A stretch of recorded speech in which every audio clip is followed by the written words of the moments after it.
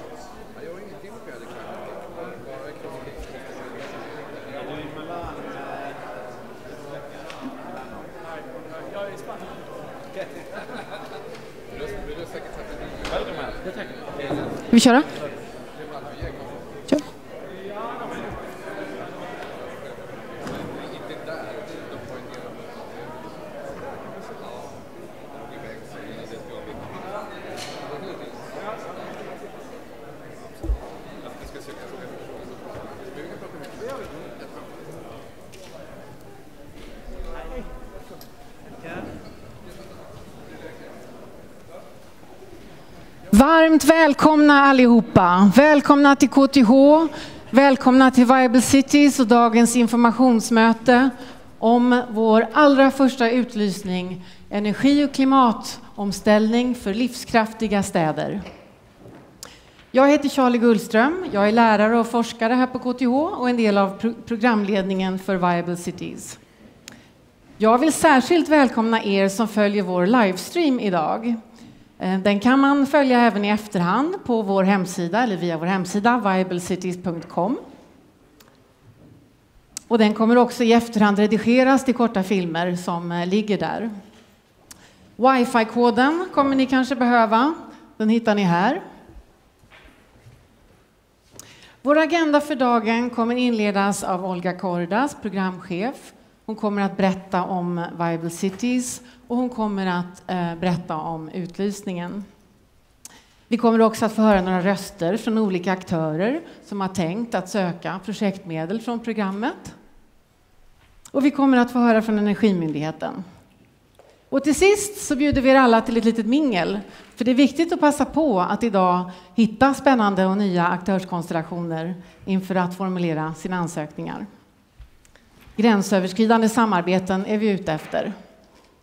Men först av allt så skulle jag vilja välkomna Mikael Östling, prorektor vid KTH och ledamot av styrelsen för Viable Cities. Välkommen. Tack så mycket.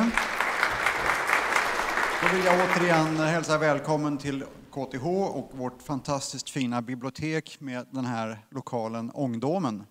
Ni förstår att det har varit annan verksamhet här en gång i tiden. Men nu ser vi framåt. Nu ser vi the, the viable city. Eh, det som är speciellt kul för mig att eh, hälsa välkomna till eh, det här mötet idag, det är ju att hållbarhet är ett av de tre ledorden för KTH. Vi har hållbarheten, internationaliseringen och jämställdheten som, som våra ledstjärnor nu på KTH. Och vi håller precis på att utveckla vår sexåriga utvecklingsplan där det här står i första rummet. Digitaliseringen naturligtvis är väldigt viktig.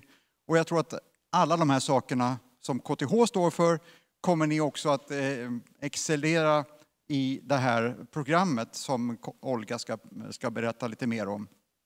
Min egen roll, och, och då vill jag också hälsa välkomna på, eh, på engelska heter det on behalf of, men på styrelsens uppdrag naturligtvis välkomna till, till det här programmötet. Ehm, vi satsar väldigt hårt på KTH på att eh, samverka med samhället. Ehm, vi samverkar med Stockholms stad, landstinget, Länsstyrelsen, eh, våra stora globala företag, våra fina forskningsinstitut som ni ska få höra mer av idag. Eh, men samverkan är då en nyckelkomponent i all vår verksamhet på KTH. Eh, så vi är väldigt glada att eh, vi kunde ställa upp och husera det här mötet det är också en del av interaktionen med, med, med samhället att ha en sån här möte på KTH. Och vad jag vet så kommer ni också att se hela Sverige i det här programmet. Ni kommer att åka till Umeå i norr och Göteborg och, och södra Sverige. Så att det, det är faktiskt en, en fin resa som ni kommer att kunna göra tillsammans med Olga och Viable City. Så igen, välkomna!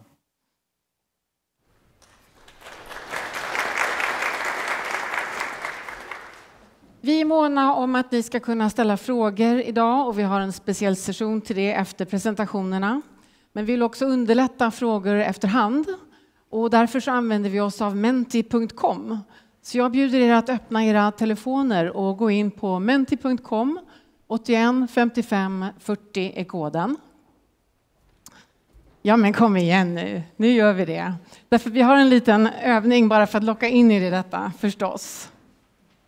Jag kan också berätta för våra um, possible English speaking guests, we will have a special short session after the presentations today with the possibility also of uh, Q&A in English. Titta, några är jättesnabba, det är fantastiskt.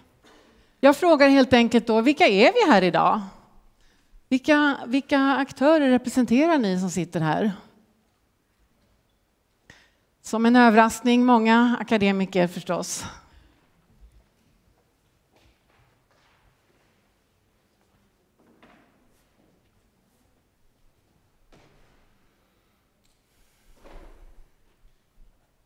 Har vi inte någon eh, enskild medborgare här idag som företräder ett Citizen Initiative? Vad bra. Ja, men nu har vi en liten bild av vilka vi är. Och nu är ni alla inne i det här verktyget. Och då kan jag gå till nästa fråga. För att den här behöver ni inte ta nu, men den här ligger nu öppen under hela eftermiddagen. Och efter dagens slut så kommer vi se till att ni får fina svar på de här frågorna. Vi lägger upp det på vår hemsida. Under eftermiddagen ska jag försöka fånga upp frågor, bolla in dem till Olga och till våra andra gäster som är här uppe. Så vi ska kunna besvara några frågor idag. Men resten får vi skjuta på senare. Men därför är det viktigt för oss att ni ställer era frågor.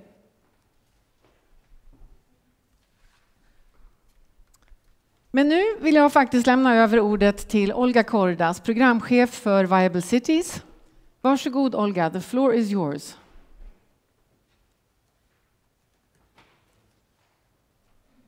Tack Charlie. Eh, det är fantastiskt att se er här nu.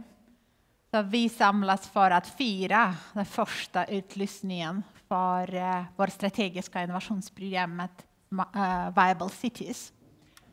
Och det är så att vi tillsammans med många av er byggde det där programmet för många år. Och jag har pratat så mycket om eh, Viable Cities-program, eh, om eh, hur vi ska bygga programmet, hur ska den se ut? Och man blir ju lite trött av det. Man vill, okej, okay, men konkret, att börja konkret arbeta. Och så nu kör vi. Vi kör första utlysningen. Så jag skulle vilja börja med att tacka alla som gjorde det möjligt att vårt program eh, nu startar den första utlysningar och andra aktiviteter. Vårt program finansieras av Energimyndigheten, Vinnova och Formas. Och vi har 12 år på oss att leverera mer smarta och hållbara attraktiva städer. Och sen vi har ungefär 40 miljoner kronor per år för att finansiera forskningsinnovation, demonstration, testbeds uh, och andra projekt. Så nu kör vi.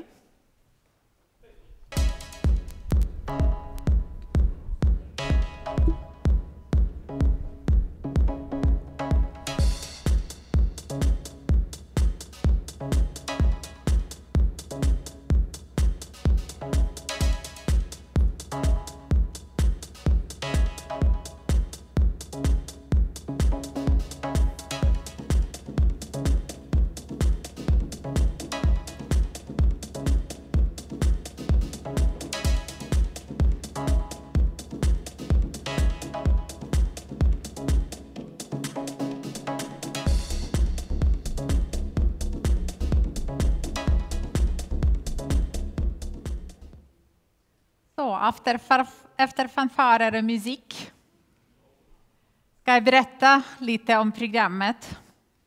Och det är vår vision är att Sverige inspirerar till och har en ledande roll i energi och klimatomvandlingen genom smarta och hållbara städer. Det är en fin vision. Vi behövde jobba med konkreta mål. Och det finns väl fem konkreta övergripande mål. Det första det är att vårt program ska bidra till att svenska städer är hållbara ur energi och klimatsynpunkt. Att svenska städer visar vägen eh, för att uppnå Parisavtalets mål. Att svenska städer genomsyras av engagerade medborgare eh, som upplever en god livskvalitet, välbefinnande i staden och har hållbara livsstilar. Två eh, mål till. Vi ska bidra till ökat svenskt företagande, sysselsättning och export på området smarta och hållbara städer. Och svenska aktörer ska driva den internationella utvecklingen inom smarta och hållbara städer genom disruptiva innovationer, policyutveckling och forskning.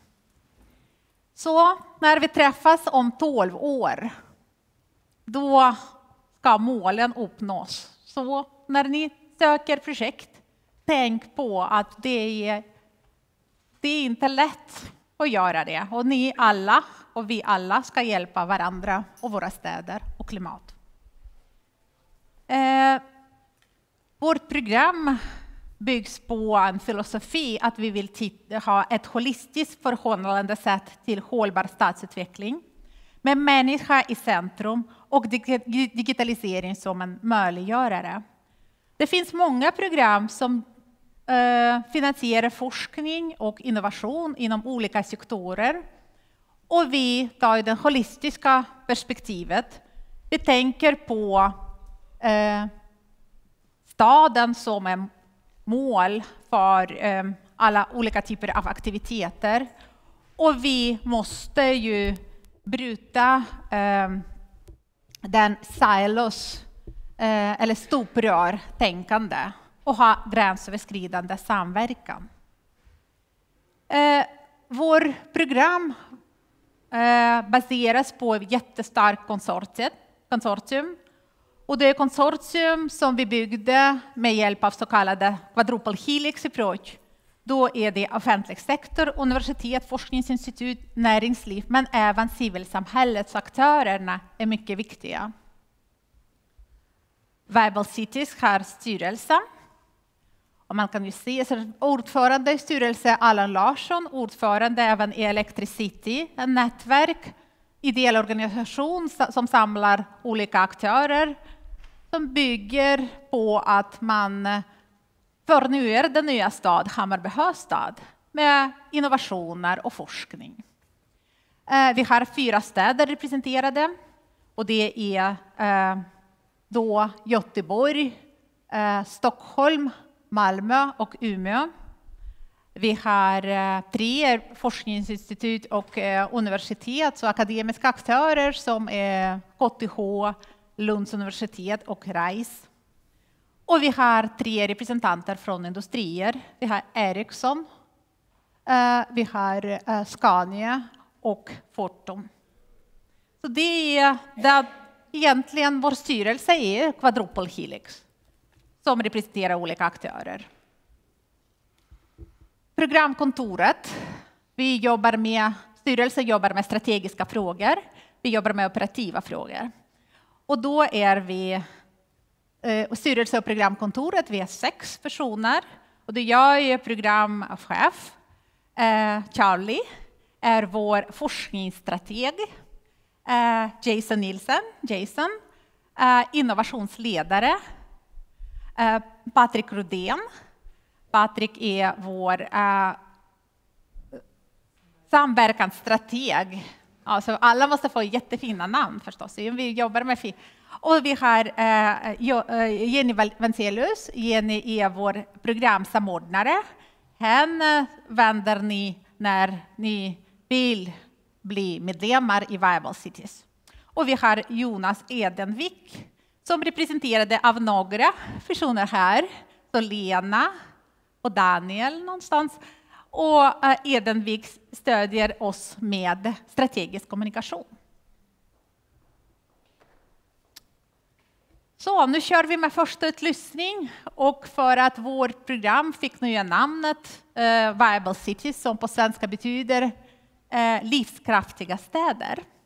Då kallar vi vår första utlyssning Energi och klimat, omställning för livskraftiga städer. Inriktning. Vi tänkte att vår första utlyssning måste vara bred att vi hinner inte fokusera på några av frågeställningar. Vi måste kartlägga vad finns det för idéer, intresse. Och därför känner vi att vår första utlyssning är bred. Och där ser vi att vi letar efter projekt som ska utgå från ett holistiskt perspektiv på staden, ska nyttja digitalisering och medborgarengagemang för att påskynda omställningen till ett resurseffektivt och fossilfritt samhälle. Det är ganska brett, eh, mycket som passar. Och specifikt välkomnar vi projekt som möter energi och klimatutmaningar i städer, som nyttjar digitalisering och medborgarengagemang, som är gränsöverskridande som utgår från medborgarnas intresse och behov samt skapar nytta för denna aktörsgrupp.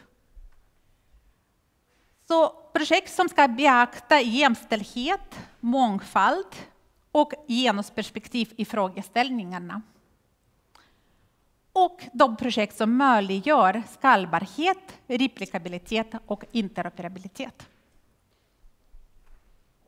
Så det är våra viktiga krav då för de som ska söka projekt. Får vi första frågorna, Charlie? Bara undrar. Ja, det är några som är nyfikna lite kring tidshorisonten. Ehm, hur snart ska projektens resultat kunna appliceras i samhället? Ja, jag tror att vi vill ha projekt som bägge kan appliceras här och nu och de ska bidra till den långsiktiga utvecklingen. Så ja, bägge och. Och sen har man frågat här nu om vi delar dina slides efteråt och de kommer vi också lägga upp på hemsidan så det var bra att ni påminde. Och då har jag fått två som undrar om internationella partners kommer kunna delta i äh, projekt. Jo, uh, vi verkligen vill se internationella partnerna. Men de internationella partner som har inte verksamhet registrerad verksamhet i Sverige kan tyvärr inte få bidrag från Energimyndigheten eller från myndigheter. Mm. vill du ta en till så kan vi ta den här om interoperabilitet. Ja. Vad menar vi med det? Ja, så vi kommer till den frågan. Ja, det tycker ja. jag. När vi pratar om eh, våra eh, eh, tema och fokusområden. Eh, Okej, okay, sökande. För alla projekt vill vi se gränsöverskridande samverkan.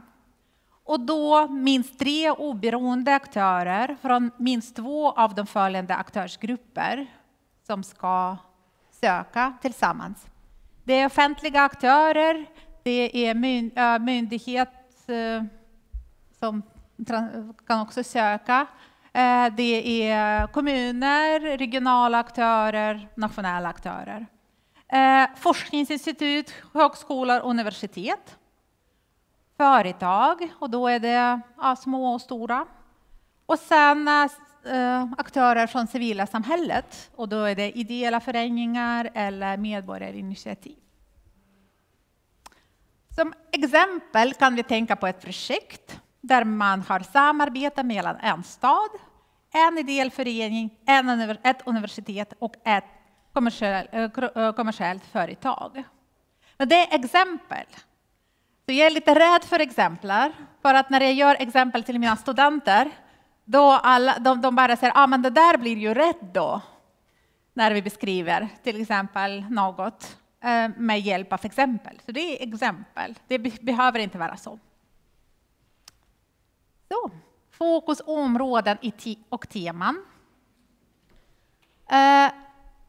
vårt program, eh, när vi pratar om gränsöverskridande samverkan och holistiskt angreppssätt, då förstås, eh, vi pratar om smarta hållbara städer, då blir det lite svårt för oss att förklara vad är det för något om vi, kan, om vi inte definierar områden eller fokus och teman. Så vi gör ju det, men man måste ju säga det sammankopplade temaområden. Så uh, i eh, uh, Innovable Cities, då har vi uh, fyra fokusområden. Och det är livsstilar och konsumtioner, planering över byggd miljö, mobilitet och tillgänglighet och integrerad infrastruktur. Och sen för att bidra till energi och klimatomställning och för att forska och för att innovera och implementera de uh, smarta hållbara lösningar. Då behöver vi testbäddar och uh, living labs och nu är jag på uh, våra teman. Innovation och stödja innovation och entreprenörskap. Att ta fram finansier nya finansierings och affärsmodeller. Nya regelverk. Nya for former för styrning. Och sen, vi har väl en tema som låter ju kanske lite, eh, alltså inte självklart då, och det är intelligence, eh, cybersäkerhet och etik. Och där pratar vi att eh, även om vi är optimistiska mot teknisk utveckling, vi måste ju tänka på risker och sårbarhet. Blir det eh, som eh, ICT, IKT Eh, Eh, tillför i systemet. När vi bygger integrerad infrastruktur, då förstås kan man ha fler risker och andra typer av sårbarhet i systemet. Därför pratar vi mycket om, så vi måste eh, studera de riskerna och förbereda oss för dem, inför dem. Och sen eh, cybersäkerhet är ju en viktig fråga, men även andra etiska frågor. Så snart man pratar digitalisering, då pratar vi om integritetsfrågorna om eh, data, hur kan vi använda vilken data, dataägarskap, men även då eh, möjlighet för alla att eh, få nytta av eh, IKT och olika lösningar. Olga, det här är ju frågor som är mm. viktiga men lite olika beroende på om vi talar om eh, väldigt stora städer eller väldigt små. Mm. Så vi har en fråga här som handlar om, är utlysningen mest för väldigt stora städer? Nej, men jag tänker inte så, för att, eh, eller vi tänker inte så. Eh, vi pratar inte att smarta hållbara städer, det är koncept för de eh, stora eller de rika städer. Men det är alla städer måste vara livskraftiga. Så alla städer är välkomna att delta i projektet förstås. Och det är vi så olika aktörer som eh, företag och eh, forskare som ska bidra till att alla städer blir livskraftiga oberoende om det finns, eh, om det finns pengar eller kompetenser. Så kompetensutveckling är viktig för mindre stader, städer. Och vi pratar väl om replik replikabilitet som är en viktig faktor då. Så hur kan vi då använda lösningar som utvecklas och implementeras och testar i kanske större städer. Vi kan replikera, implementera dem i mindre städer, till exempel. Sånt. Och tvärtom. Ja, och, och tvärtom, precis. Och där vi pratar om de städer som växer nu, det finns väl städer som förlorar befolkning, att det blir ju inte attraktivt att stanna i sin lilla stad. Och då frågan är hur med hjälp av IKT kan vi göra de städerna attraktiva? Men hur är det nu, är det bara svenska städer då? För en fråga här handlar ju om att det finns ju aktörer här som kanske riktar sig med sina lösningar mer åt städer eller ja, applikationer i helt andra länder. Ja, så vi vill se förstås ju global uh, påverkan av vårt program. Eh, där som vi säger att det är svenska aktörer som ska gynnas av utvecklingen. Så om det är svenska företag som kan ha, ja, ha mm, större exportpotential, då är det, de förstås eh, välkomna att söka projekt. Men nu, när vi pratar om eh, våra tema och fokusområden, det är inte, inte så lätt. Och vi pratar att vi vill ha den där eh, i, ehm, eh, samverkan mellan olika discipliner och sen ett, holistiskt perspektiv på, på städerna. Och därför säger vi att för att söka våra projekt, då måste projekt eh, handla om åtminstone två fokusområden och minst ett temaområde. Och då fick jag några frågor. Ah, men Olga, vad jobbigt ah, det är. det är jättejobbigt. Alltså, hur tänker man då? Varför kan man inte göra något projekt inom hållbar mobilitet? Men vi tror inte att det är faktiskt jobbigt. Och jag skulle be Charlie, kan du berätta om ditt projekt som du leder, Sharing Cities? Hur kunde du representera projektet i den där matrisen? Och vi kallar den bild som Viable Cities matris som ni ska använda när ni söker våra projekt. Ja, och det du vill då Olga, det är ju att vi ska experimentera lite och dra in nu vår, eh, ja. eh, vår församling här. Så vi ska gå igen till en... Jag ska nämligen bli först ut nu och testa den här, men ni ska också få jobba med den här. Först gör det du, Charlie. Först ska jag göra det, ja. precis. Här nämligen.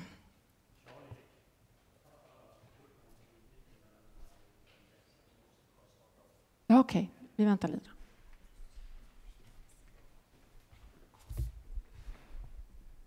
Att man ehm, i ett litet verktyg vi har tagit fram som kommer att användas eh, för alla er som kommer att söka projektmedel. Så det är därför vi vill träna med det idag, eh, alldeles strax. Men om jag skulle berätta hur, hur det projektet som jag jobbar med som handlar om delningsekonomi i Hammarby sjöstad och en testbädd som vi bygger upp där. Var skulle jag sätta, om jag fick nu sätta två eller tre eller kanske fyra pins i, i den här eh, matrisen för att just fånga upp minst två fokusområden och minst ett temaområde. Ja, men då skulle jag ju sätta ett här i korset precis mellan Testbädd och Living Labs och livsstilar och konsumtion. För vi försöker använda delningsekonomin för att pröva om man kan anamma mer hållbara beteendemönster om vi kan påvisa en minskad energianvändning i en stadsdel genom att man kommer närmare varandra som medborgare. Så där får jag ju sätta en pin då när vi får igång verktyget. Nu, nu är det redan igång. Nu är det igång, då kan vi gå dit så får jag sätta min pinne. Kolla.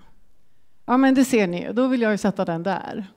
Och sen är det ju så att innovation och entreprenörskap är ju jätteviktig eh, i det här fallet, för de här delningstjänsterna är ju små SME som eh, blossar upp och som eh, också vi håller på att utveckla en digital plattform eh, med IoT-komponenter för delningstjänster, så då blir det lite kryss där tror jag. Eh, men vi vill också stötta de här SME med att utveckla sina affärsmodeller så att de också tänker mer hållbart än de kanske har gjort i sin respektive applikation. Så jag tror jag sätter den faktiskt här eftersom programmet, eh, eller det, det projektet handlar mycket om delningsekonomi eh, och stadsrummet. Så då sätter jag den där. Och så tycker jag styrningsfrågorna är viktiga och vi har också Stockholms stad med i projektet så då får det bli en här då. då. Klarar jag mig nu? Vi får se. Jag skickar mitt svar. Visa resultat. Ja, det gick ju bra. Och nu ska ni göra det här. Nu får ni fyra upp till fyra pins. Så ni går då till matris, viablecities.com med era telefoner eller på datorn. Så ska vi få se vilka ni är igen här idag. Var, var sätter ni era pins?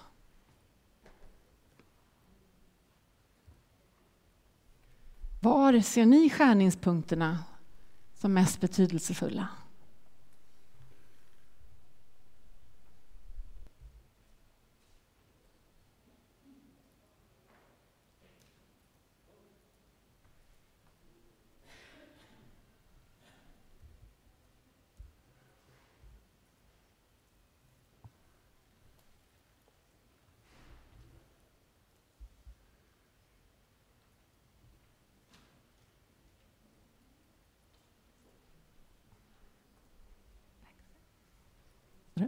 Den växer.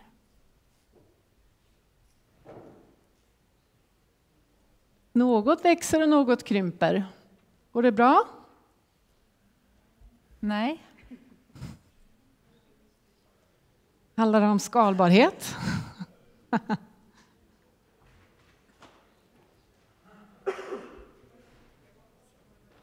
Man får inte ångra sig, tror jag. Det är fortfarande en prototyp. Vi kör mycket med prototyper här på KTH. Det kraschat? Daniel? Det kraschat eller? Ser du den? Det är den innovation som går så här. Man innoverar, man testar, det går inte, man kommer på något nytt. Mm. Ni kan fortsätta under eftermiddagen. Vi kikar in i det här och vi fixar alla buggar givetvis eh, lite ja. senare idag. Så vi, vi återkommer till den bilden, men det är jättebra om ni börjar tänka på det. Och det är så att ni ska ha den där övning när ni söker. För en del i ansökan, det var eh, Viable City-matris.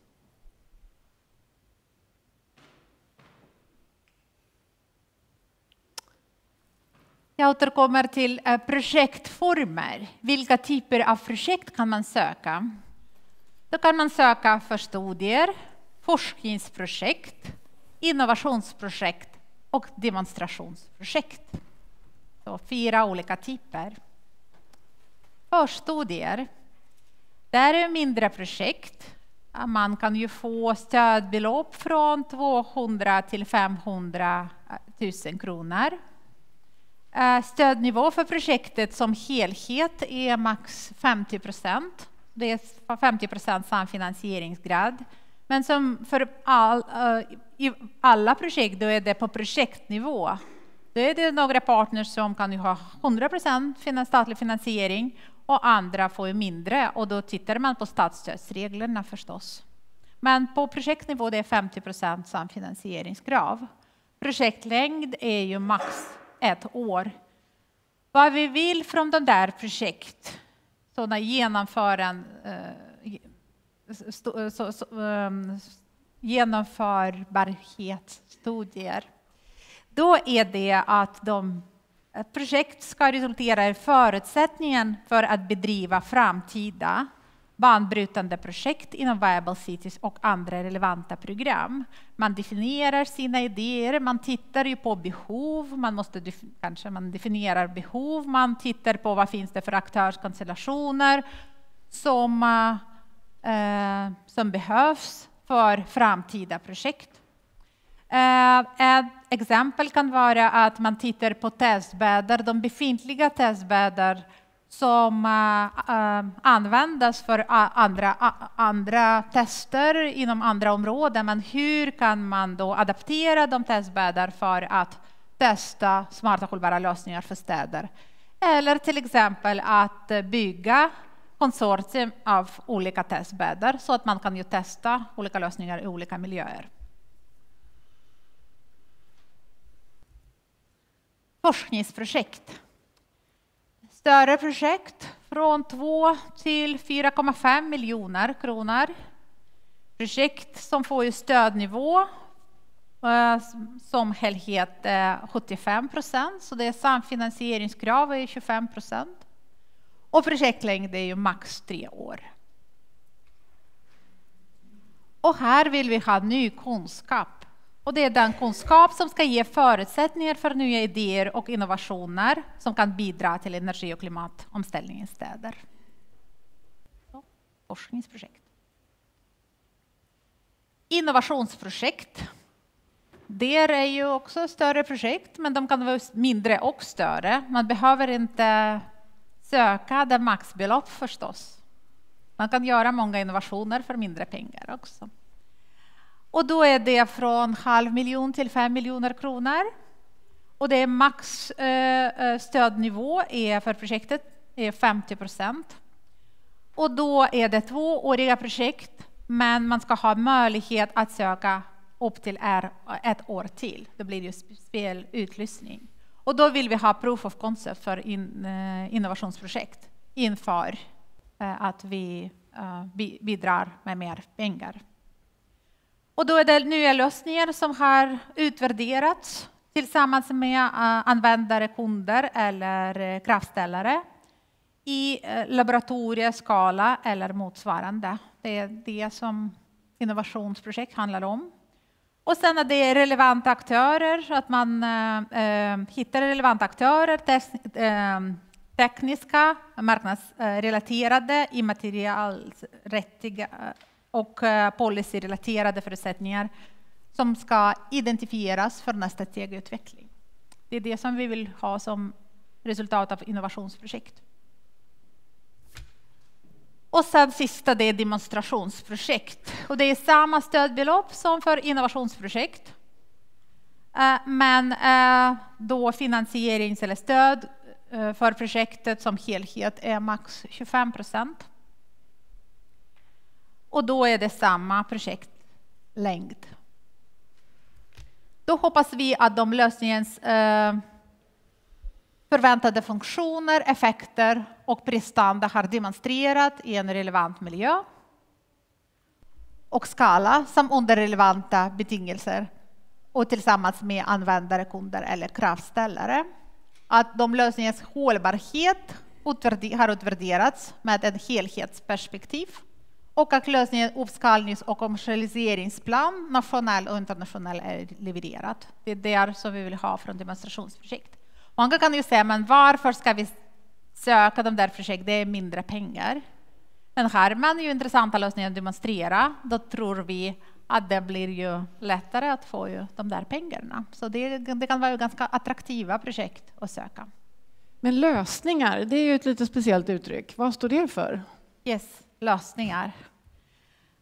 Så, när vi pratar lösningar, då pratar vi om produkter och det är varor och tjänster processer, metoder, modeller, till exempel affärsmodeller, policies och planer. Det är ett ganska brett begrepp. Mm. Sen är det många som har ställt frågor kring medfinansiering som är ett nyckelord här också. Ehm, vi kan ju gå in i detaljer kring det sen, men vill du förklara lite hur det fungerar med medfinansiering? När vi pratar om medfinansiering då vänder jag min blick direkt till Energimyndigheten. Och Energimyndigheten ska ju vara med och berätta lite om eh, utrustning och även svara på frågor. Så jag tror att det är bättre att ni tar den frågan. Det är okej? Bra. Nu kommer vi till budget. Och då är det hur mycket pengar har vi? Då har vi, vi utlyser ungefär cirka 42 miljoner. Och då är det åtminstone cirka 8 miljoner går ju till eh, förstudier. Forskningsprojekt blir ju cirka 9 miljoner. Demonstrationsprojekt och innovationsprojekt tillsammans blir det 25 miljoner. Men att minst 5 miljoner kronor ska gå till demonstrationsprojekt. Eh, vågar vi ja, testa? Ja, vi har ju förberett några personer som vi vet har tänkt att söka från den här utlysningen och vi vill bjuda upp er nu så vi får höra lite olika röster. Vi har både forskare och representant för småföretag. Så kom upp hit nu. Ja, ni får komma fram här och ställa er här och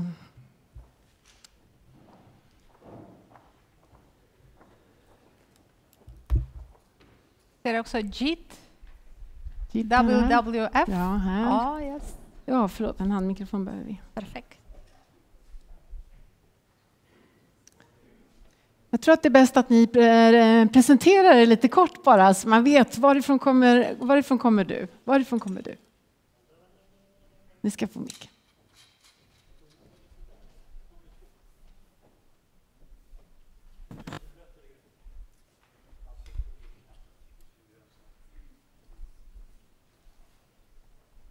Berätta kort vilka ni är och var ni kommer ifrån. Ja, hej allihopa. Lennart Persson heter jag. Jag kommer från ett konsultföretag som heter Trivector som jobbar med hållbara transportsystem och har gjort så i 30 år. Eh, vi har ungefär en tredjedel av vår verksamhet ligger inom forskning, gör det. och resten jobbar vi med det offentliga mot stat, region och kommunalt. Jag heter Maria Kidel och jag kommer från Electricity som är lite närmare. Lite närmare. Mm.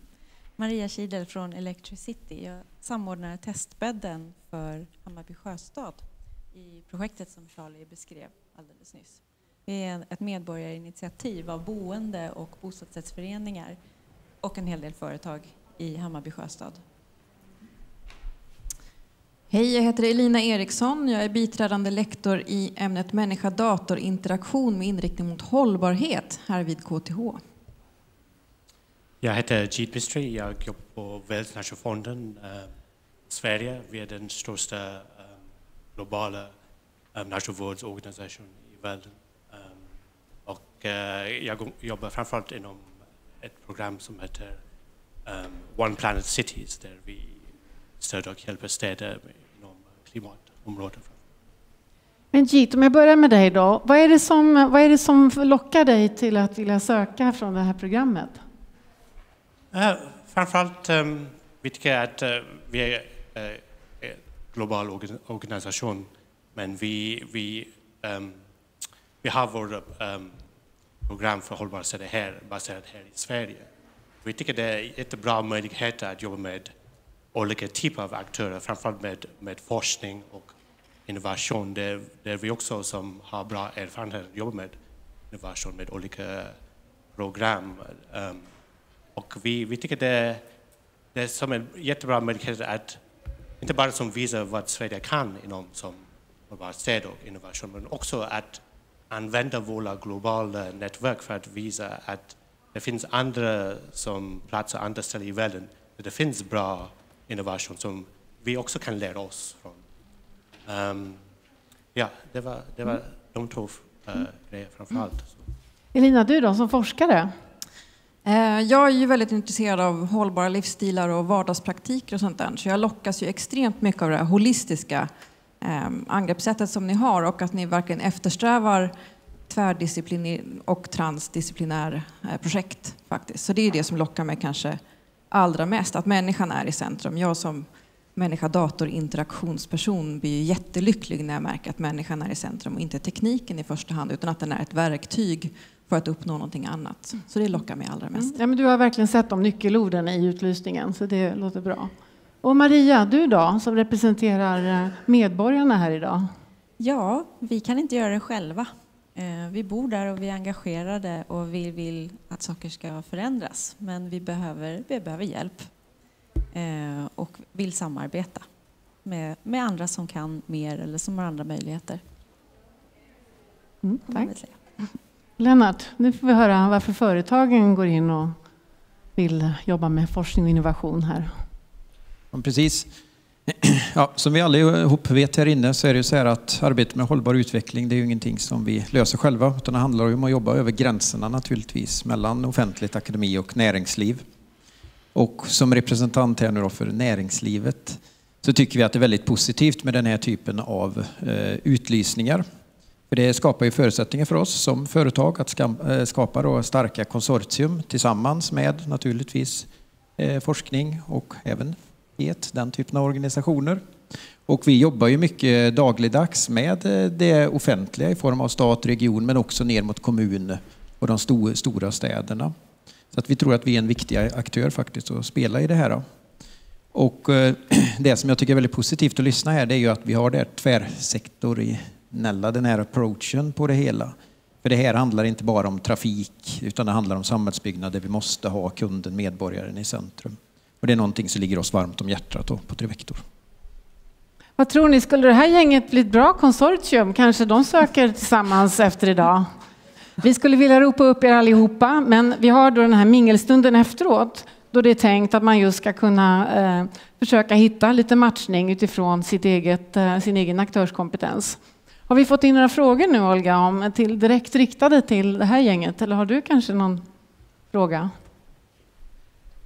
Um, ja, så det finns väl bra, peng, bra frågorna, men jag tror inte att ni svarar. Till exempel, varför går en så liten andel av pengar till forskningen?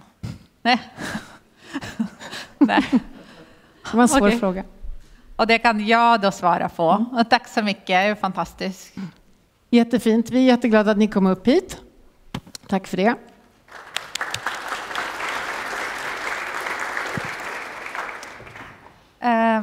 Jag tänker, vågar vi försöka en gång till med eh, vår matris och titta vad är det som händer där?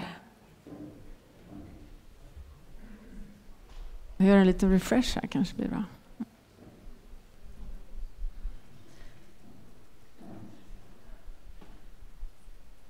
Ja, det blev väl lite förändringar.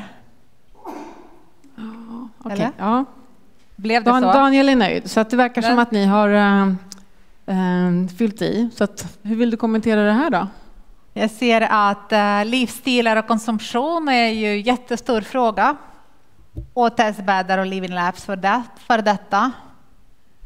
Sen att det är innovation och entreprenörskap inom planerings och bebyggd miljö är en stor fråga. Eh, finns det några områden som är ju inte så populära?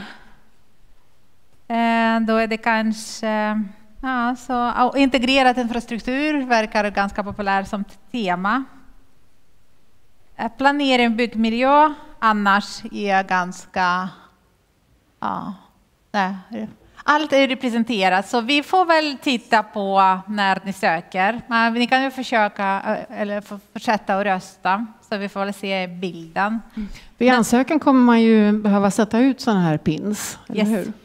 Men hur många pins får man sätta ut då? Eh, Så vem, så vem kan räkna? Det är en fråga. Så hur många? Så vi ska ha minst två fokusområden och minst en tema. Hur, mycket, hur många krus behöver man då? Olga är matematiker. Yeah. ja, hur många? Hur många krus? Hur många pins behöver Hur många vi? pins? pins Hur många pins behöver ni sätta på plats för att göra en komplett projektansökan till första utlysningen?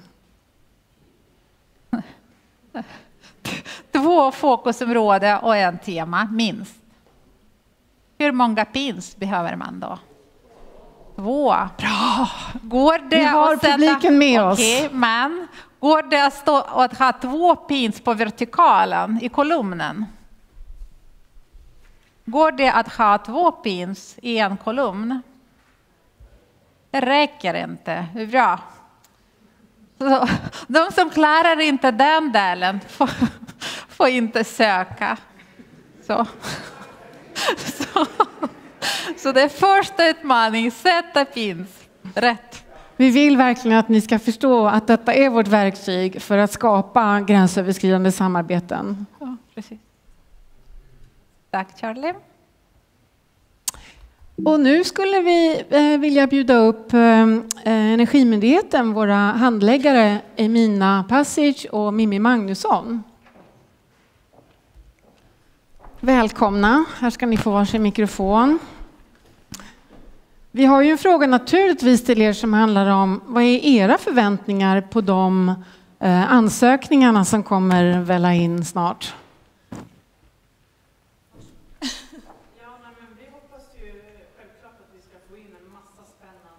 Micken på?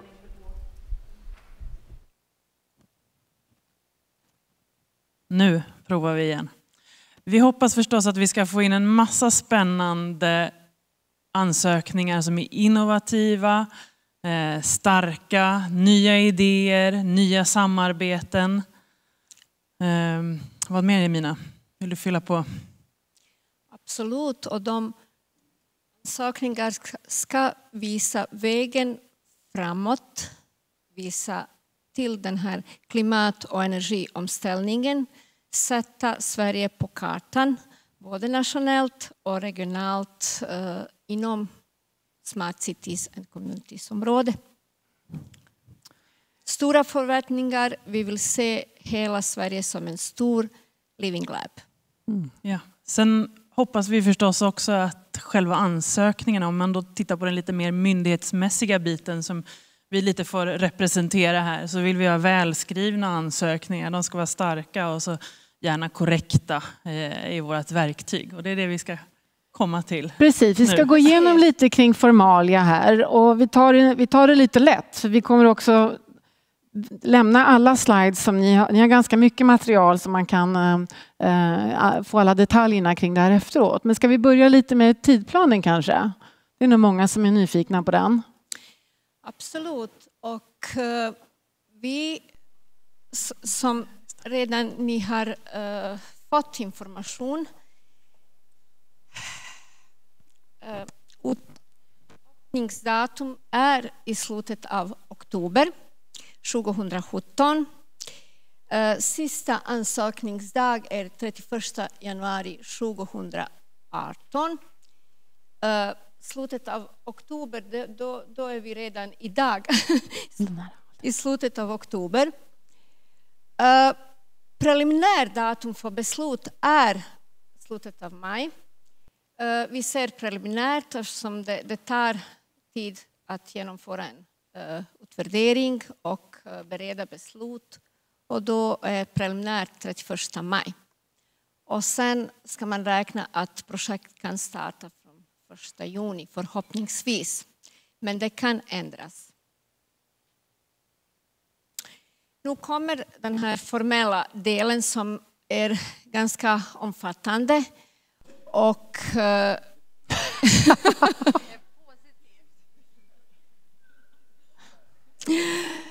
Ehm,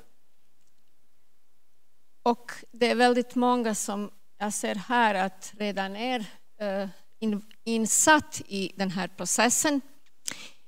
Eh, nu har vi, som Charlie sa, eh, samlat alla, all information på de slides som ni kommer att kunna se i efter dagens presentation. Viktigt är egentligen att hela ansökan blir väldigt tydligt eh, formulerat med sitt tydliga syfte att eh, beskrivningen av projektet egentligen fokuserar på energi och klimatrelevans. Eh, att eh, ansökan innehåller mätbara mål eh, som är relaterade till syfte och Eh, vision av programmet. Eh, klart man ska ha också eh, en beskrivning av aktuella forskningsläget, det vill säga en omvärldsbevakning aktuellt för respektive projekt. Genomförandedelen, man ska också beskriva i flera work package, arbetspaket, hur man ska genomföra projekt. Och viktig, väldigt viktigt kommunikationsplan, hur ska man kommunicera projektresultat och sprida, sprida vidare inom programmet och utanför programmet. Eh, språket i första hand, man ska skriva ansökningar på, på svenska språket med en kort eh, sammanfattning på engelska, men det kan man göra också eh, vice versa, det vill säga att man kan skriva på engelska med en kort sammanfattning på svenska. Uh, väldigt viktigt är att uh, egentligen fylla i alla de här flikar i e-kanalen som vi kommer komma lite senare på den här eftersom vi kommer inte, fullständiga uh, ansökningar kommer inte att uh, beredas om vi inte får in all information. Uh, under själva beredningsprocessen kommer vi att kunna begära extra komplettering och information om det bedöms att det saknas ytterligare uppgifter. E-kanalen har jag redan nämnt. Hoppas att ni känner väl den, men om ni inte känner till systemet, det, det finns väldigt instruktioner på vår hemsida som vi kommer att visa. Och det är väldigt viktigt att ni ansöker om behörighet för att komma in i systemet innan man Eh, Eh, ska stänga utlysningen. Det är den som jag vill eh, lyfta här eftersom oftast är det väldigt högt tryck på systemet sista dagarna innan systemet stängs. Eh, och här ser ni e-kanalen, de här system som stödjer egentligen e-kanalens upplåsning. Här är bara kort information hur det ser ut på den här bilden. Vad hittar ni på vår hemsida, e-tjänsten i högra spalten och sen kommer ni till öppnas e-kanalen och självklart ni behöver den här behörighetsskaffa innan. Att ni behöver skaffa eh, inloggningsuppgifter innan och sen kommer in i vänstra spalten på nyansökan och söka lite längre ner eh, själva utlysning inom Bible Cities program. Eh, jag kommer inte gå in på detaljerna. Sista bilden här visar Eh, egentligen de här flik som vi har i den här eh, på sida, eh, när man kommer in på själva plattformen e-kanal. Där för varje flik finns information som ni kommer att hitta senare. Nu lämnar jag över till min kollega Mimi som kommer att berätta om stöds, stödsnivåer för den här utlysningen och hur kommer vi att hantera beredningen. Varsågod. Tack så mycket Emina. Ja, Olga har ju redan berättat en del om eh, de övergripande stödnivåerna för de olika projektformerna som finns i den här utlysningen. Eh, det som är viktigt att veta är att Energimyndigheten stödjer sig på olika regelverk när vi fattar beslut om stöd till projekt. Eh, de grundar sig i EUs statsstödsregler och är formerade utifrån den förordning som heter 2008-761, forskning och innovation inom energiområdet. Och Eh, på vår hemsida via den länk som finns med i den här presentationen så finns det ganska bra information om vad som gäller enligt den här förordningen. Då.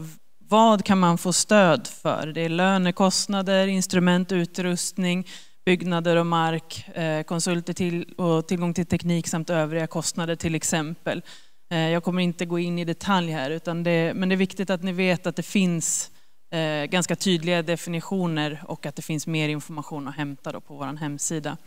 Sen har Olga gått igenom de stödnivåer som finns för de här olika projektformerna och som gäller för helhet för projekten.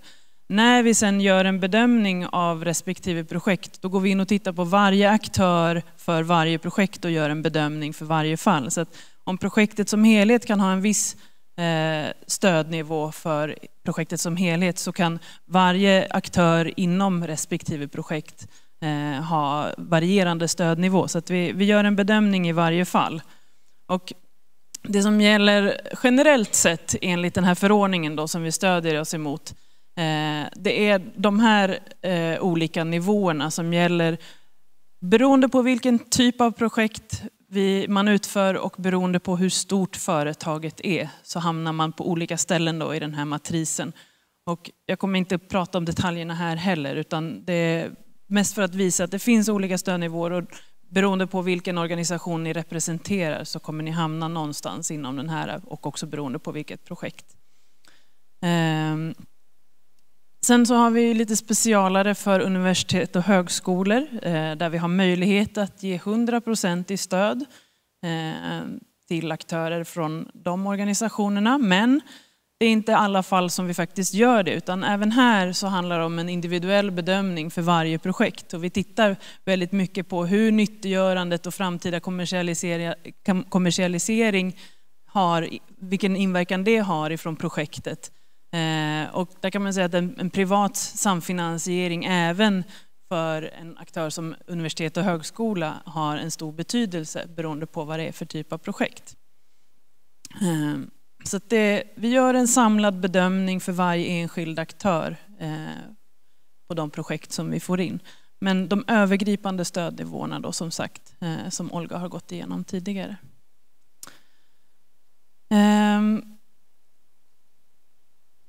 Olga har också pratat om den här matrisen eh, och det är en sak som ni behöver lämna in när ni lämnar in er ansökan i e-kanalen.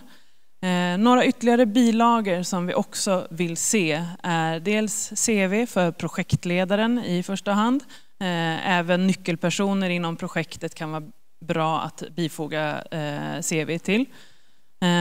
Vi ska också ha en, projekt, Eh, en publik projektbeskrivning som finns en mall för på Viable Cities hemsida som också kommer finnas på Energimyndighetens sida för den här utlysningen. Eh, och den här publika projektbeskrivningen måste ni också fylla i och skicka in tillsammans med övriga dokument. Ehm, om projektet innehåller flera arbetspaket med flera utförare i så finns det också en kostnadsfördelningstabell som vi vill se Även denna kommer finnas eh, som eh, länk i utlysningsdokumenten och på Viable Cities hemsida. Ehm, utöver det här så är vårt system är till viss del begränsande för att det är fält eh, där man egentligen enbart fyller i text. Och om man därtill då vill kunna bifoga eh, tabeller, figurer, bilder eller någon annan typ av grafisk information så kan man även lägga det som en bilaga. Eh, så det kan vara bra att veta. Men det är egentligen de huvudpunkter som vi vill se och inte så mycket mer information utöver det. Nu ska jag lämna vidare till eh, Olga som ska prata om eh, bedömningskriterier för projekten. Tack. Kanske vi också egentligen medan ni står här skulle... Vi har ju den här frågan kring medfinansiering som jag tror är väldigt viktig när det handlar om tvärvetenskapliga ja, konsortier med olika aktörer. Kan, kan man till exempel använda ett annat Vinnova-projekt som eh, medel i medfinansieringssammanhang? Berätta lite nu. Eh, egentligen inte. Som, uh, när vi pratar om samfinansiering, då, då är det finansiering från, som kan komma från universitet, uh, kan komma från företag, från kommunen. Däremot inte från andra myndigheter och eh, statliga finansiärer. Man kan väl säga att eh, den totala statliga finansieringen räknas samman och sen så tittar vi på samfinansiering som den andra bidragande delen. Så att säga. Så att, ja, finansiering från ett annat eh, projekt som har fått stöd eh, till exempel kan vi inte räkna med som samfinansiering. Mm, det var ett bra förtydligande. Då Olga ska du få berätta om bedömningskriterier. Tack.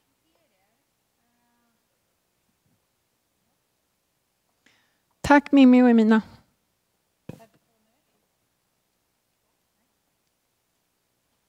Nu då. Förlåt.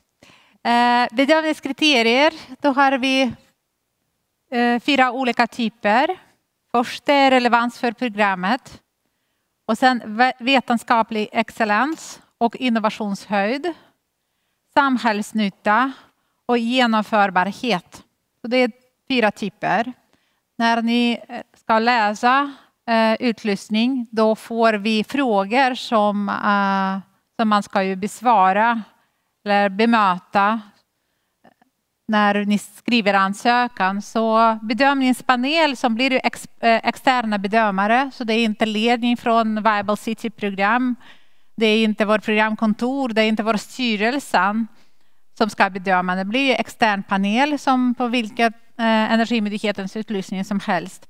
Så då får de från oss en rad frågor för varje typ av uh, kriterier. Och ni får väl samma information som de bedö externa bedömare. Och som exempel, det är då de frågor som eh, eh, bedömare ska bedöma er på inom eh, samhällsnytta. Och då är det till exempel hur väl har relevanta samhällsbehov formulerats och adresserats i projektet. Ni måste definiera vad är det för samhällsbehov som ni adresserar. Bedömningspaneler ska inte gissa om det. Eller till exempel hur väl hanterar projektet genusperspektiv i frågeställningen?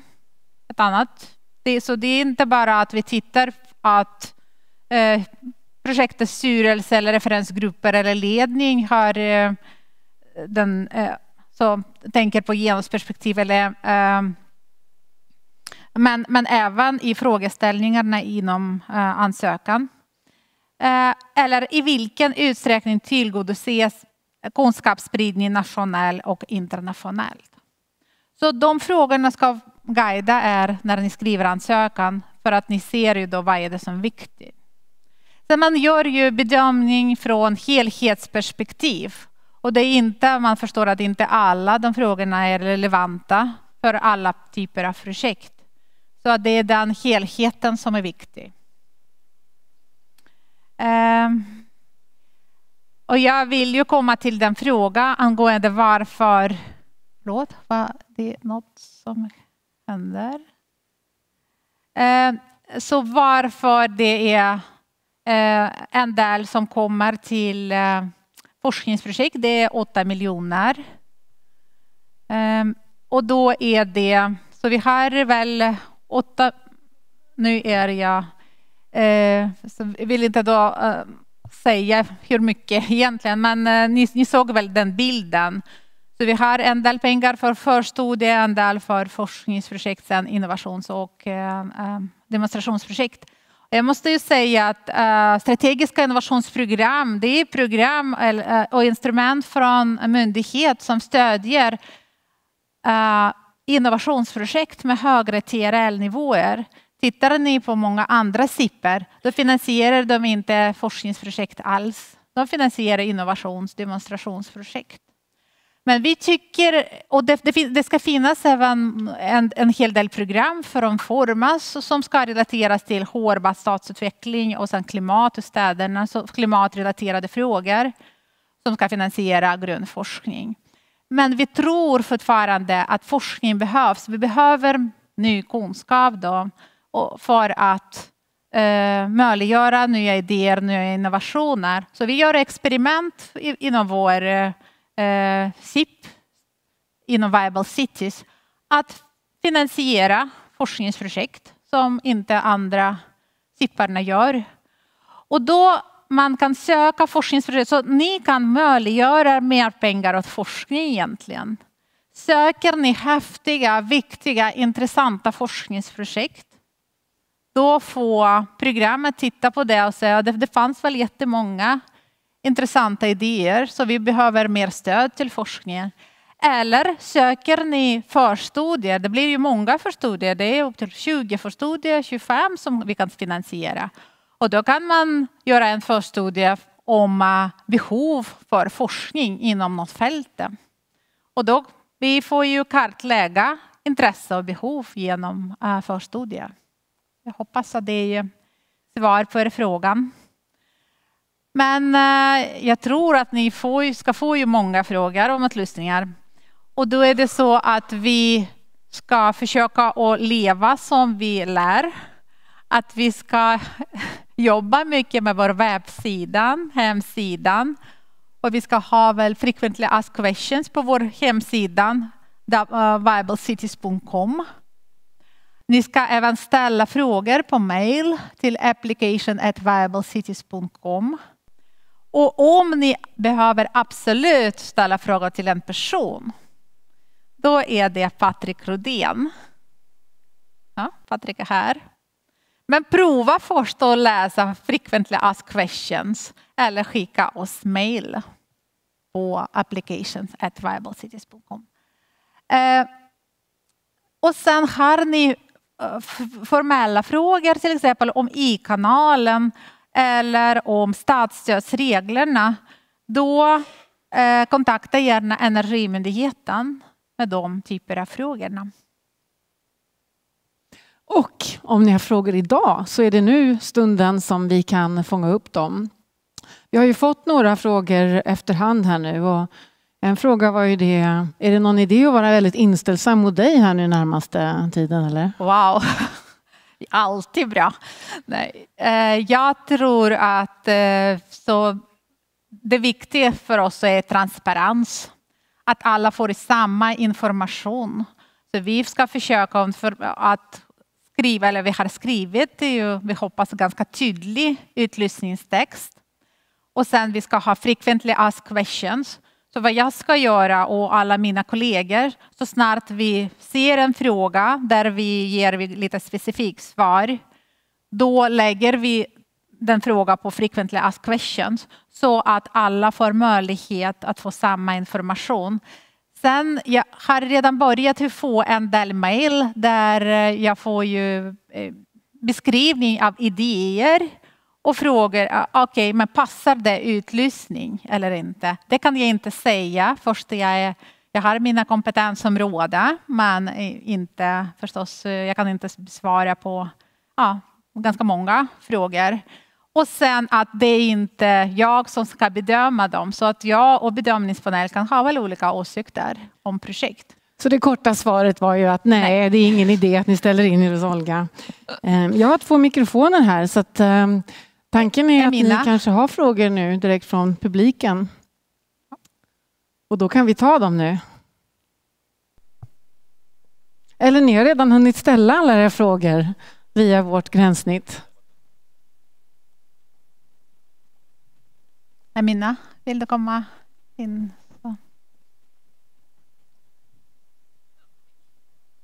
Ja, hej. Oh, hallå? Mm, ja, eh, Anna Niska VTI, jag har en fråga. Kan man i samma ansökan lägga ihop till exempel en förstudie och ett demoprojekt? Så att man gör det som i två delar, två steg? Eh, man ska egentligen söka, vill man ha på en, söka på en gång, då ska man söka två projekt. Man ska söka förstudie och demoprojekt. Och sen att vi ska bedöma var projektet för sig.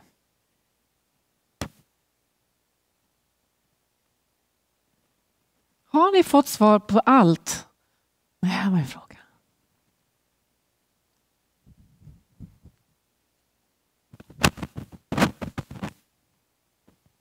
Eh, kan EU-projekt, eh, hur räknas det i statsstödsreglerna som eh, samfinansiering? Uh, ja, det räknas om du får nationell finansiering för EUs projekt. Det beror på vilken uh, vilket typ av projekt det är också. Uh, om det är finansiering genom Horizon 2020, det räknas som, som uh, statsstöd, i statsstödsreglerna kan man säga. Uh, och det kan man inte motfinansiera med EUs medel självklart. Men medfinansiering kan också utgöras av eh, arbetstid till exempel från ett um, Absolut, det, det kallas in kind som ni känner till. Det är uh, både uh, arbetstid och uh, för deltagande och även uh, i pengarna, som, i medel som man får som samfinansiering. Det är två delar. Jag tror att jag fick svar på min fråga, men det var om man kunde delfinansiera just med tid, arbetstid i projekten. Men ja, jag fick ju svar på det under tiden. I förekommande fall även utrustning, lokaler? Absolut. Och det har vi redan redovisat i den, på en slide vad, vad egentligen är uh, berättigat till stöd från projekt. Och det kan man säga de här um, standardposter för resekostnaden, egen tid, uh, utrustning, material. Och klart man ska också räkna att det är avskrivningsvärde på, på de här kostnaderna. Det finns allt i den här information som kommer att uh, ligga på hemsidan. Varsågod. Hej, David Nilsson, KTH. Ehm, jag undrar hur bedömningen kommer göras. Det kanske ni inte redan vet, hur ni kommer vikta de olika sakerna. Men jag är bara lite nyfiken om det finns olika typer av mål, till exempel vad gäller samhällsnyttan. Kommer det väga tyngre att man kan eh, se framför sig en väldigt stor reduktion av utsläppet av växthusgaser än om man kan skapa massa jobb? Jo, om vi ville vikta, då skulle vi eh, beskriva detta i utlysning. Så när ni läser utlysning och ser bedömningskriterier, då förstås att eh, det ska ju inte stå där att det ska ha olika typer av kriterier ska vara viktigare än andra. Som, som egentligen eh, säger att det ska inte viktas. Sen hur bedömare ska titta på det, jag tror att det är där helhetsfråga då. Eh, och det är inte lätt, men det är ju, alla gör ju på samma sätt. Så blir det ju projekt som eh, har jättestor potential till eh, effekt men sen ganska dålig på andra saker, då, då kanske det är svårt att få projektet. Sen blir det också konkurrens. Blir det jättemånga spännande projekt som är fantastiska på alla möjliga sätt, då är det de som blir finansierade. Så det är, eh, det är fråga om vi, vi känner att det blir, alltså det är bara 42 miljoner så att eh, vi tror att det blir ju hög konkurrens. Så det är många som tänker söka så jag skulle säga att skriv ett projekt där ni tror på, när ni tycker att det är intressant, spännande, nytänk, eh, ny aktörskonstellationer. Och eh, det är också så att, kanske får inte säga det, det filmas, Uh, Emina ska inte lyssna, men jag skulle säga, känner ni att oj, men jag hade haft ett projekt, ansökan, och det, och det jag skickat hit och dit, och sen jag fick inte finansiering, kanske eh, fråga, så skickar jag till dem också. Sådana vill vi inte ha. Ja. Så vi skulle vilja verkligen att ni tänker på vad är det för mål och behov vi har i programmet och tittar ju på vår matris och tittar på den här kriterier och skriver projekt åt oss. Då. Här har jag några Precis, frågor här i hörnet. Eller ville du? Förlåt Emina, ville du? Det stämmer, jag vill bara förstärka den här uh, Olgas uh, sista kommentar. Det är jätteviktigt faktiskt att man tänker igenom helheten och utgår från den här PPP, eh, Private Public Partnership, där man har en mångfald i konsortier, både representanter från näringsliv, eh, företag, kommuner, städerna, akademi. Och det är den som vi vill uppnå verkligen i, i själva utlysningen och i hela programmet. Jag har några frågor här. Du hade en fråga. Ja, hej, Per Wikman Svan från KTH. Jag har en fråga. Ni pratar om energi och klimat. Och då undrar jag, vad menar ni med klimat där? Och då, menar jag, då undrar jag särskilt specifikt, menar ni, räknar ni in klimatanpassning, det vill säga hur man ska anpassa städer och till exempel till eh, ökade stigande havsnivåer, översvämningsrisker, värmeböljor och sådana saker? Eller är det liksom inte till den här utlysningen? Jag ska säga att vi tittar ju mer på den climate mitigation. Då, och då är det CO2-utsläpp Sen pratar ni om, alltså sen vill vi bygga de livskraftiga, eller livskraftiga städer som, eh, som måste anpassas och bli resilienta. Så det är en jätteviktig fråga. Så att eh, ni kan ju titta på att om man har ett projekt som är bägge eh, eh tillför till eh, klimat, alltså climate mitigation och minskning av CO2-utsläpp och pratar om adaptation då kan vi finansiera ett sådant projekt. Men, eh, men när vi pratar, det måste vara mitigation. Ja, CO2, minskning av CO2-utsläpp är fokus. Mm. Tack, här har jag en fråga till. Ja, jag heter Carolina Isaksson och kommer från VTI och jag har en fråga också om det här med medfinansiering. Eh, för ni sa att man kunde till exempel använda arbetstid. Men om arbetstiden i praktiken Eh, i princip alltid kommer från, en, från något annat forskningsprojekt. Så ser det ut för många i forskningsbranschen nu. Får man ändå inte, alltså är det bara om det skulle finnas någon annan arbetstid som då inte är finansierad av ett forskningsprojekt? Eller hur, liksom, hur funkar det då? Uh, egentligen, det, det som du säger uh, i, uh, det, som du frågar efter är att du ska kombinera egentligen ett pågående projekt med ny projekt. Och där någonstans är väldigt, väldigt viktigt att hålla isär de två delar egentligen. Och sen att man att inte motfinansiera med annat projekt, nytt projekt. Det, det, det, det kan vi inte uh, acceptera, eller det, det, funkar inte på så sätt kan man säga. Men uh, egentligen det betyder att i praktiken det är ett nytt projekt och det, det är den tiden som du planerar för detta projekt, där du lägger egen tid. Däremot du kan använda resultaten från, från projektet som du har avslutat och lagt också egen tid på.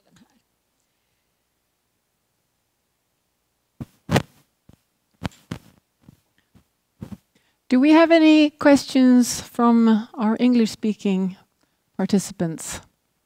You will also be able to save them for our brief summary, which takes place soon. Men hur är det nu Olga? Har vi svarat på alla frågor som vi trodde skulle komma upp idag? Ja, jag tror att det fanns ju massor med frågor. En var ju då för interoperabilitet. Och det jag måste säga några ord hur program eh, fungerar. Och vi har fantastisk eh, styrelse, vi har ledning, men vi har även eh, så kallade utvecklingsgrupp. Och då är det de experter som ansvarar för olika teman och olika områden. Och en av våra experter eh, som är ansvarig för eh, den eh, område om intelligence, cybersecurity och etik är Klaus på platsen. Och sen Klaus ska förklara till oss nu vad interoperabilitet bety- betyder.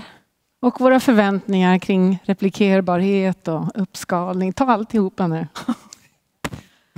Okej. Nu, om vi, øhm, hur ska jag börja det här? Det var lite oförberett. Om man tänker sig det sättet man utvecklar tjänster på idag. Vi tänker oss någon tjänst där man mäter luftkvalitet i en stad. Øh, det gör man i massor med städer. Men man gör det på helt olika sätt idag. Det finns ingen øh, samordning mellan hur man gör, hur man jobbar med data, hur man jobbar med plattformar. Och det är inte så där jättebra. Så egentligen så ska det ju vara så att man kan utveckla en tjänst på en plattform kan man säga i en stad och sen ska man enkelt kunna flytta den till en annan plattform på en annan, i en annan stad. Det måste vara målet på något sätt. Och då hamnar man i sån här fråga om eh, vilka standarder man ska, man ska följa. Ehm, till exempel... Öppna. för- för- Till exempel öppna. Ja, ja, precis. Ja. Och det finns ju massor med standarder där ute, men då, någon gång måste man samsas om vilka standarder man använder. Om det här någonsin ska fungera i Sverige. Om vi ska se Sverige som någonting som är lite sammanhängande.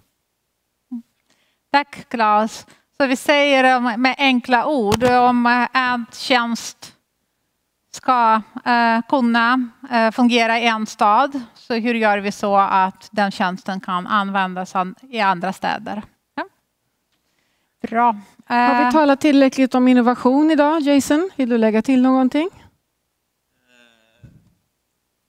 Det jag kan lägga till, jag tyckte den här frågan om, ehm, om forskningsprojekt och andel pengar som går till forskningsprojekt var en intressant fråga.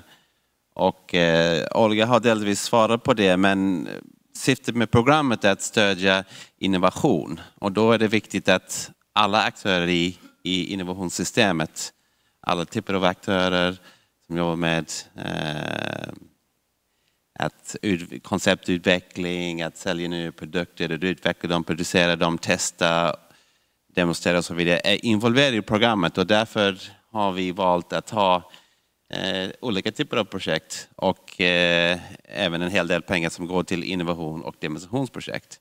Och så att vi vill stödja hela ekosystemet. Så att det var det jag tänkte lägga till. Och har vi tryckt ordentligt nu på samverkan, eh, Patrik? Och hur ska vi göra sista stunden nu för att få ihop spännande matchmaking här? Ja, alltså vi, vi kommer att ha ett eh, tillfälle nu alldeles eh, snart. Och jag vet inte om ni hörde det innan, men jag tyckte det korkades upp någon slags champagne här i ena hörnan. Så det kommer ju vara lite möjlighet här till mingel direkt i anslutning till detta. Och är det så att man inte lyckats hittar någon eh, kontakt här och nu så kan man ju alltid höra av sig till mig om man vill. Och om man vill hitta någon annan kontakt, någon specifik kontakt så skulle jag kunna hjälpa till också med kontaktskapande. Vi kommer säkerligen få höra vilka projektidéer som är på gång så att säga. Och det kan vara möjligt att vi också hjälper till att matchmaka lite mellan er. Så att eh, det är lite en tanke från min sida och eh, jag hoppas det blir trevligt här på minglet inom kort. Och vi kan ju också besöka infodagarna som kommer äga rum i södra Sverige och även i Umeå. Ehm, där det också kommer vara mingelmöjligheter. Olga, är du nöjd nu med genomgången? Jag är jättenöjd. Tack att ni är här. Nu när ni börjar fira, då ska jag upprepa allt detta på engelska. Så att jag hoppas att jag stör inte er när jag står och bab- fortsätter att babbla. Och jag hoppas att jag är klar när ni är fortfarande här så jag har också möjlighet att mingla med er. Jag skulle vilja ge applåd till alla som har jobbat med den här infodagen och även till er som är här. Så stor applåd till alla er och till alla oss. Tack alla för att ni har kommit hit idag. Nu öppnas champagneflaskorna för fullt. Men här framme vid scenen pågår ett litet samtal på engelska. Så ni som vill höra den sammanfattningen kan komma närmare. Ni andra, välkomna att mingla och tack så jättemycket. Också ni som följer oss nu på vår livestream och som vill titta på detta i efterhand. Hoppas vi att ni kommer in med mycket spännande projektförslag. Tack!